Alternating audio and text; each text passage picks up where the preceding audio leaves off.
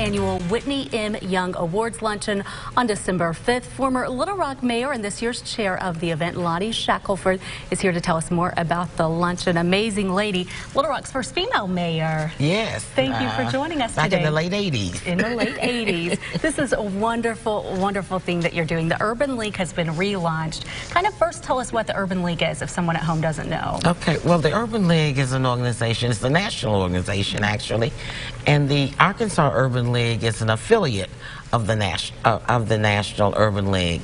Urban League is in about 95 different communities in 35 states in the District of Col- uh, Columbia, and its mission is to basically help empower the underserved uh, and the, the folk who need uh, just another little push in the sense of helping provide equality as it relates to housing, education, uh, job opportunities, and uh, it's been about this mission since 1910. Wow, a wonderful event coming up December 5th. You're taking at the a look at the information. Tell us about this awards luncheon.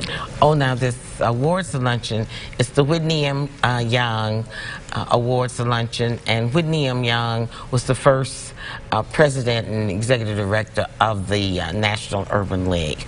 This is the second annual one for the Arkansas chapters. We have chapters now in Little Rock, Arkansas, Springdale, and West Helena.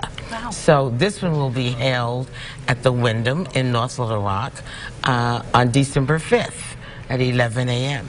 Tickets are still available. People can are- still come. Yes, please go to Eventbrite and purchase a ticket and come out and help uh, someone else improve their quality of life. Uh, Talk about the importance of people going to this event, learning about the cause, and then you are helping someone at the same time. Well, in addition to uh, uh, raising monies to be able to help provide additional uh, assistance for folk in need, uh, we'll also be honoring a couple of folk this year.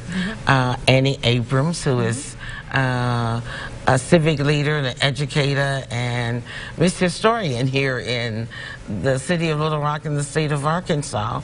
And we'll also be honoring uh, Dr. Matthew Waller, uh, who is the dean of the Walton School of Business uh, at the University of Arkansas at Fayetteville. So, uh, in, a, in addition to helping others, we'll be honoring uh, these great folk. And our speaker will be uh, Representative Vivian Flowers Yes. from Pine Bluff, Arkansas. So, uh, in addition to being able to help, you'll be able to learn and you'll be able to be uh, inspired. Absolutely. What a wonderful event. Get your tickets right now. The link will be on our website, kark.com. Thank you so much for joining us today. We sure appreciate you. Thank you. And we're back with more after this. Stick around.